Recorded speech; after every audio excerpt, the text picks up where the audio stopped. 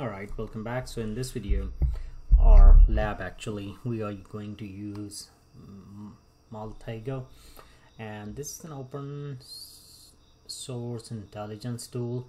I uh, played with it a little bit and there are a few things, quite a few things that you can do.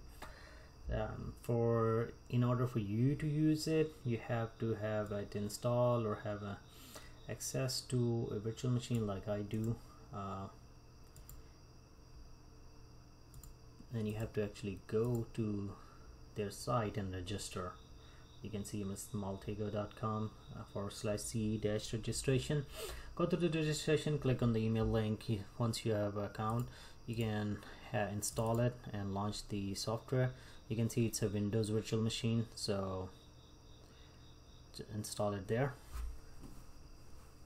If you want to install it uh, on your if you want to uh, like play it uh, every day or quite a few times you can install it on your system. If you have a virtual machine that's good. Uh, so first thing first we have to actually do the login to the license manager here.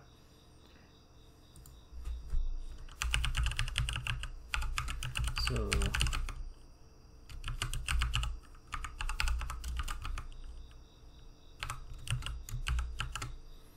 see.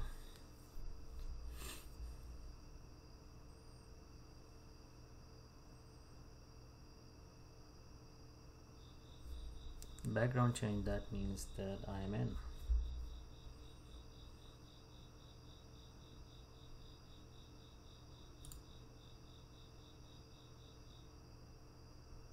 It's on install transforms phase uh, it's a community edition so it does not show as much information as uh, I was hoping for but uh, it's uh, it's interesting and uh, obviously uh, with any software there are a lot more you can do than in the first peek that's what I did.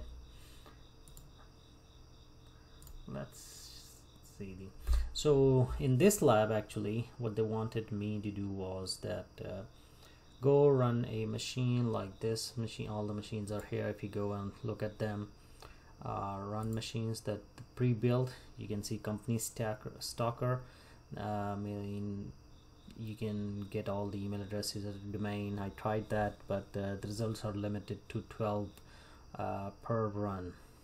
So it's not like you can run against a big uh, enterprise and get maybe a thousand email addresses. That's not happening with at least this community edition. Uh, the actual lab is about uh, Wikipedia uh, Wikipedia edits. This one was really interesting. I ran against mine and it did not find uh, any of my email addresses and my email addresses um, so i'm thinking it's not uh, you have like uh, it's not the software it was me that i have to be it's just like google search you have to be to master it you really need to know what to put in to get the exact or desired results but this one was really interesting. Uh, so let's go get done with this lab. It says wikipedia added. So basically what they want is example.com click finish. It will run and give you uh, results uh, in form of graph that uh,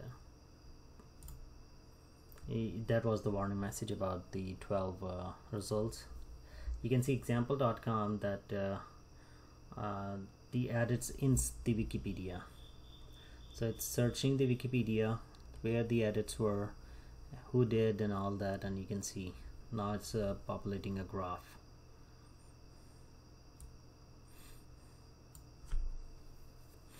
So at this point I uh, with this one I'm really not sure what kind of uh, uh, use it has. The, quite honestly it's just uh, I like the the email thing. So it's just like it's maybe in future labs videos something somewhere I will learn and I will have a better understanding what it does and how it does. All I know is we ran this query and it's giving us these uh, addresses. And that's all.